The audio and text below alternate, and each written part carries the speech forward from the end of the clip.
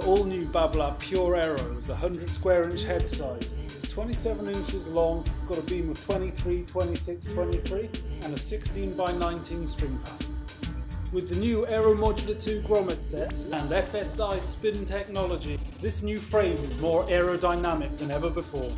The Pure Aero at 300 grams sits in the middle of the range. There's now a heavier tour version and two lighter versions. This will be the most familiar frame to those who used to use the Aero Pro Drive. And comparing it to that racket, there is definitely a lot more spin off the string bed to be had. Babolat have widened the string pattern, and that really does result in the ball dipping a lot more than it did with the old Aero Pro. Ground strokes were very solid and very forgiving off a very big sweet spot.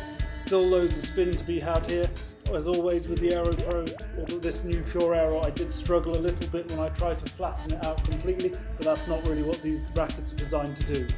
The new Pure Aero still lets you serve really big, it's just a lot more solid and even a lot more spin friendly. You need to get used to that extra spin, hit the ball even higher over the net and let the string bed and the strings do the work. This racket really is the epitome of a modern day player's frame.